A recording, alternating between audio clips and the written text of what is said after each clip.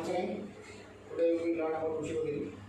So from Jeev command, this is Jeev command motion, like this. The first point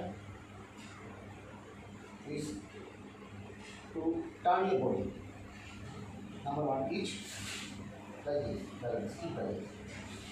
So maintain the center of gravity each like this, and look. So from this position, each look, then push and back. So this is one, push, keep, push, and back. This is one, look, same time, keep your body balance, push and back. So in one count, if we, many people do like this, first I have seen many students, they do like this. So uh, this is a little correction required because when you are doing, you are doing one and two. This is two count, but you need to do one count from here. Don't move your hip left and. From this position, don't move your hip from this position, just and right.